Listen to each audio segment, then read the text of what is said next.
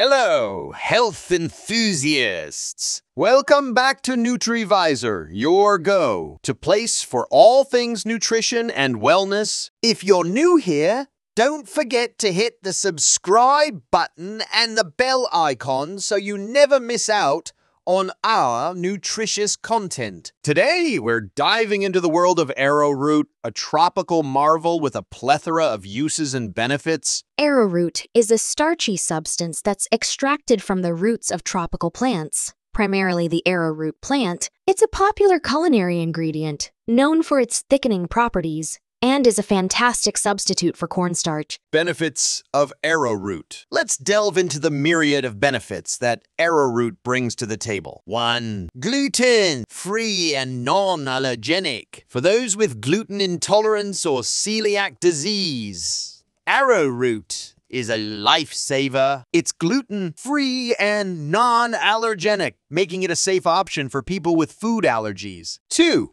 easily digestible. Arrowroot is a friend to your stomach. It's recommended for people with digestive issues and can help manage diarrhea and relieve nausea. 3. Nutrient rich. Arrowroot is not just starch. It's packed with essential nutrients like potassium, iron, and B vitamins, and it's a good source of dietary fiber promoting gut health. 4 low in calories. Looking for a healthier alternative to other thickening agents? Arrowroot is your answer. It's relatively low in calories. 5. Culinary uses. Arrowroot gives a glossy finish to your dishes without altering their taste making your sauces, soups, and gravies look and taste divine. 6. Supports healthy weight. The dietary fiber in arrowroot can aid in maintaining a healthy weight by promoting satiety and reducing overall calorie intake. Side effects of arrowroot. But like everything, arrowroot does have its caveats. Let's look at some of the side effects. 1. Limited nutritional value. While it does contain some nutrients, it's primarily composed of starch. 2.